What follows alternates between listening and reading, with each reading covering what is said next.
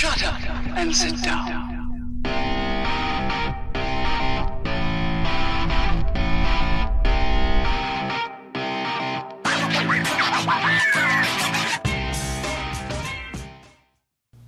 Greetings, fellow Earth travelers. Oblyx here. Today I want to take just a second to look at what is in this box because, to be frank, I have no flipping clue. I'm assuming it's a watch, but I have no clue what watch might be inside. I've actually ordered a lot of watches lately, and I have not been keeping up with the tracking numbers, and I, I don't have a clue. So let's uh, crack this bad boy open and see what's what. And the, who it's shipped from is not anybody I've ordered a watch from. So, uh, you know, it's not one of the standard companies I order from. So it was obviously drop shipped from another company. But uh, again, no flipping clue. But we're about to find out. Let's crack this bad boy open and see what's what. We got a ghetto wrap job for sure. I have a feeling I know what this is, given the ghetto wrap job, because I did order a watch that did not come with a box. I'm betting that is this.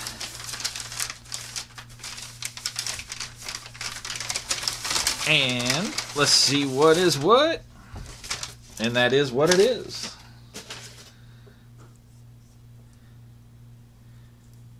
A ghetto wrapped Von Dutch. So interesting piece. Definitely uh, small out. Ooh, I don't like how loose that is. That is way too loose. I bet I can tighten that up though. Uh, interesting point about it is you can flip it around and it becomes this uh, kind of embo- embossed i don't know how you would say it uh, skull skull face. You've got the top up here which is supposed to be an ETA automatic ETA definitely an automatic. I can hear it rattling in there. Uh, don't know if it's actually an ETA for realsies. Uh, now this is just a quartz down here in the bottom because we have two watches capable of two time zones. I'm trying to bend this leather so this little guy will stop flipping around so much. I'm definitely going to have to take a screwdriver and tighten him down. Let's pop these plastics off. So Von Dutch, if you don't know, is uh, kind of a biker, skater, I don't know, uh, fashion brand. So it, you, know, you could class this as a fashion watch. It is definitely unique, which is why I like it. Uh, anybody knows me any length of time knows I like unique watches. You see Von Dutch original Dutchman here, and the Dutchman is the brand or the model, and Von Dutch is the brand. You got a big, hefty, meaty buckle on there with the Von Dutch logo, which is pretty cool.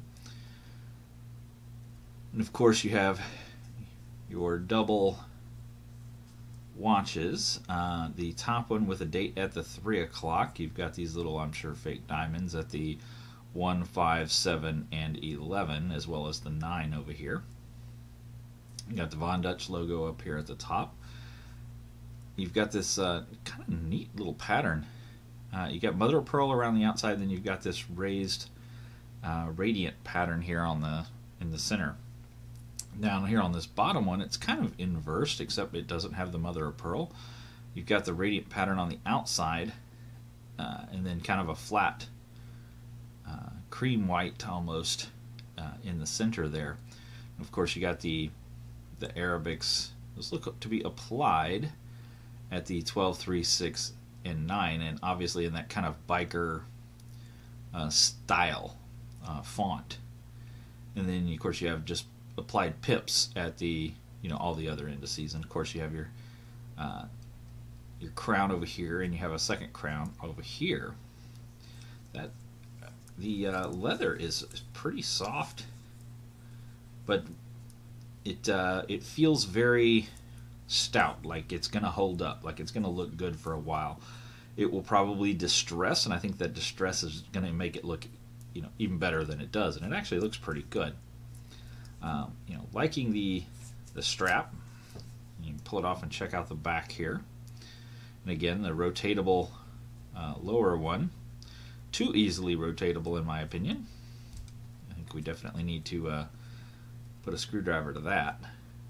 But then we have uh, Von Dutch back here. Oh, we have some more plastic we can peel off. Von Dutch back here, Dutchman. Got the serial number. Uh, Swiss made. Sapphire crystal. So there you go. Nice crystal. Uh, actually feels thicker than I thought it would. And I do like kind of that double style. You can go with the the uh, skull, or you can go with the the clock. It may actually settle down once you get it on wrists, be not so twisty, because this this leather will bend up into here. Uh, let's actually get it on wrist and take a quick look. Uh, right now, I am wearing my summer evening wear. Uh, one of my favorite pieces for summer evening wear, my Luminox Navy SEAL Colormark uh, in neon or acid green, if you will. And I've just got this on a uh, lime green Perlon. That uh, it's actually a cheap Chinese strap. Uh, probably a dollar fifty or so. I bought a whole bunch of different Chinese straps, different types, off of AliExpress, and I'm trying them out to see if they're actually worth it or not, guys. Because you know we spend a lot of money on watch straps, don't we? Uh, you know, 20, 34, 35 bucks each. You know, and if I can buy some for a couple bucks and get reasonable quality, then uh, you know that's worth a shot. So I'm going to give these a try. We're going to see how they do, and I'll come back with a review down the road and let you guys know how they worked out. But let's pop this guy off for now because it is not the star of the show. The Von Dutch is. Boy, it's a chunky, meaty piece, isn't it? But again, I like that unique style. I like different things, things that are outside of the norm. Come on, get on there. I'm going to strap it down loose. Because I am struggling to get this leather to bend nicely. Come on! Ah. I said it's, it's a meaty feel to it. It really, really is. So it is still a little loose, still a little little more twist than I like. I'll, I'll tighten up over here and see if it's got some screws on the sides, see if that doesn't tighten it down a little bit. Yeah, I really do. That is definitely a unique look. Uh, I'm actually kind of digging it. It's almost a little bit steampunky.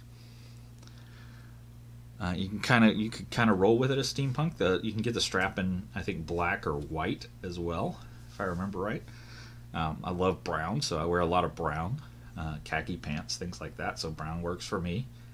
Um, I could pull this off in the office. I, a lot of folks couldn't. This is more of a weekend weekend wear. You can definitely uh, get your wrist on the the handlebar there and go to town on the bike. But um, it's a smaller piece in diameter for each of the the individual watches, but a larger piece overall. I mean, this diameter is huge. And this diameter is pretty standard, but this diameter is massive. So the two together actually come out to be a pretty darn big piece. Definitely a wrist filler. And again, uh, this is on my 7 inch wrist. So let's pop this guy off. Fight him off. So I'd probably wear this normally cinched up maybe one more. So it's not going to be a, a, piece for guys with huge wrist. You know, if you have an 8 inch wrist, you're going to struggle probably to get into this thing. So let me get you guys zoomed in, take a little bit closer look. Alright, got you guys zoomed in. Y'all can take a little bit closer look at the Von Dutch Dutchman. You can see that first piece, and then there's that second. See what I was talking about? The uh, the raised radiant around the outside there, and then here it is in the center of this piece uh, with that mother of pearl on the outside. And we'll go ahead and flip this guy over for you guys so you can see the that skull there. Pretty darn interesting. Again, definitely a, a polarizing piece for sure. This is not going to be everybody's cup of tea. I get that. Uh, love it or hate it, feel free. But uh, I like it because it's different. It's not something, you know, when I wear this, I guarantee I'm going to be the only person wearing it around me that day. Uh, I the chances of me running into another person wearing a Von Dutch Dutchman that day are slim and none. So the um, these rails here are designed to look like exhaust pipes of the bike. Very cool. Uh, really hope I can tighten this down a little bit. That's going to be a nuisance, but hopefully it will. Definitely a meaty buckle. Look at that thing. Nice logo. Meaty leather strap. That's right. That's going to do it for the Von Dutch Dutchman. Um, new piece we just got in. Unfortunately, no box on this one, but we got a heck of a deal on it to get it without the box. Uh, picked it up at Talk About Watches. Um, so, not complaining at all. You know, I bought it that way, so don't give them no grief, guys. It's not their fault. They, I bought it. I purposefully bought it that way, knowing it was going to come in with no box. Um, you know, but got a great deal, so fantastic. Got that ETA at the t- on the uh, the ETA movement in the top, ETA automatic in the top up here. Got a quartz down here at the bottom. Dual sided, nice leather strap. Pretty interesting piece. So I'll get a full review going of this guy. We'll get some wrist time on it, and then we'll do a full review, or we'll break down the nuts and bolts. We'll look at the size. We'll do all of that stuff. But I sure do appreciate you guys coming to hang out with me as we opened up our Von Dutch Dutchman. And until next time, you guys get out there, make some noise. See ya.